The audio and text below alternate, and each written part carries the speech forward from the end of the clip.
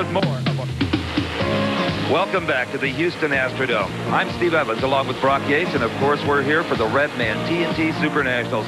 We've got tractor pulling and monster trucks and mud bogging. We have got it all, and it's non-stop. And we've got machines like this. How about this 9,200-pound modified tractor of Fred Freeman? Five big block Chevrolet engines are just now coming to life. And this is a machine built by Tim Engler, who coincidentally is also the leader in the class right now at 182 feet. A very interesting gear design ties all of these five motors together, and that was originally conceived by Engler. You know, tires are critical on these machines as they are on all race or tow vehicles. Brock Yates took a look earlier at how they're built. Over the last few years, we've seen tractor technology grow by leaps and bounds, especially with the big pullers, multi-engine, supercharged uh, aluminum block V8s, monster horsepower. But the tire technology has stayed basically stable. That is until now. Up uh, over the last few years, we've seen, how can I call them, how about tractor slicks? This is a giant tractor tire, a Firestone, uh, standard issue basically, except Fred Freeman, one of the professionals out of Indiana, like a lot of his counterparts, has shaved the tire. Now, why would you shave the lugs that were originally about three inches high on his tire down to make it uh, almost like a slick? Well, Fred and the rest of the guys reason that these big lug tires will tend to dig into the dirt and slow the tractor down, will bog it down a little bit. So now the trend is to ride on top of the dirt. You get more tire revolutions and the tire floats on top of the dirt as opposed to digging in. Gives them more traction, believe it or not, just like an asphalt slick on an asphalt racetrack.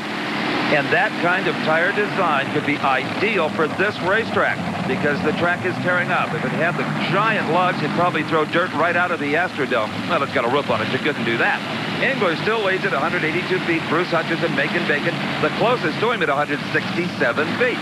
Now here's a tractor, as I said, built by Engler. It's got those slick tires, Brock. In fact, those are the very ones you looked at. It sure does.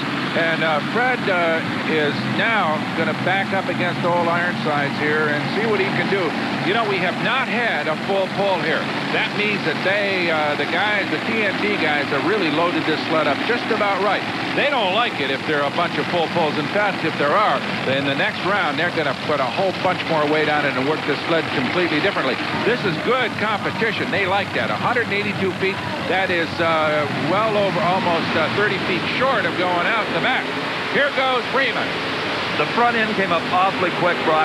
Maybe too quick. It's not really holding like it should. He's lost control, headed for the outside boundary. If he crosses that, he'd be disqualified. And he's got a problem with the front motor. Yep, I think he hurt that front motor. So overall, Fred uh, comes up way short.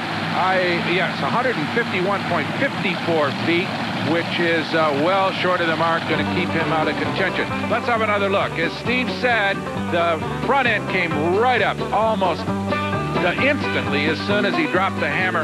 And then you can see that uh, smoke coming out of that forward motor. That reduces the horsepower by about a thousand. So uh, he's in trouble all, right off the mark. Let's see what Fred's got to say about it. Well, the official measurement is over 150 feet, but I think the course you took, you went about 175 feet. Yeah, that's very possible. I got a little light on the front. When it uh, gets up in the air like that, you really only have the brakes to steer with. Yes, that's correct. That's how I drove down the track was with the brakes. Well, back to the open mud competition. Jackie Hunter holding on to that lead. But right now, it's Richard Whitfield in a mud bogger called Wildfire. And boy, this is, yeah, I'll tell you what, Steve, there's more weird, wacky shapes, I think, in these mud bog vehicles than any other kind of competition I've ever seen. A lot of them with the Jeep influence, the little fiberglass cowling there uh, to resemble an AMC Jeep. Uh, and, you know, after all, the Jeep really did start the four-wheel drive trend in this country. He is all over the place. But Whitfield gets it out of the pit. 2.31 seconds. The time to beat, as you well know by now, 2.09. Not even close. Uh-oh. They're standing up again, Brock. It's time for the semifinals in Monster Truck.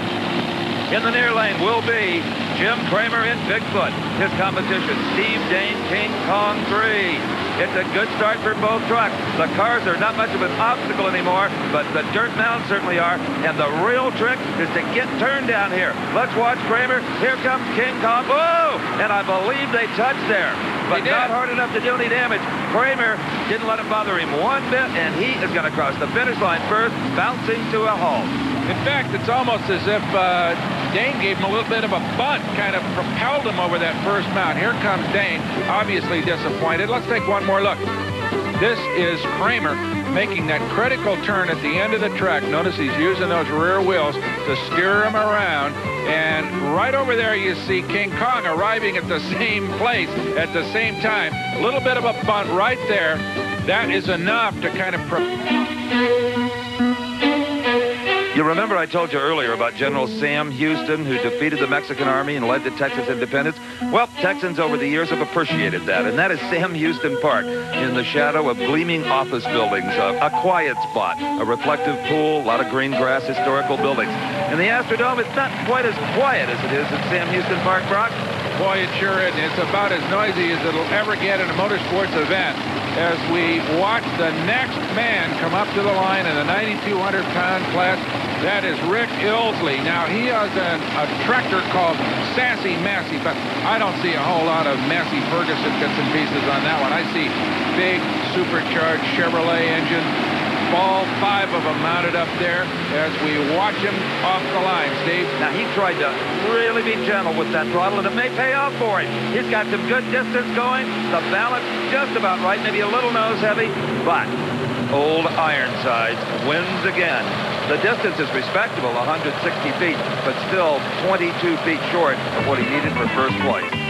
Let's watch again. The front end, yeah, I take it back. It looked like it was balanced real well. The problem is here, one tire in the rear will get more grip than another and veer him off to the left. You haven't seen any tractors go right. They all seem to go left. And that cost him a lot of distance because he had to get on the brakes to try to steer it. That slows the wheel speed, and henceforth you lose forward momentum. Well, Rick, it gets tougher and tougher, doesn't it? Boy, it sure does, I guess. any any specific problems?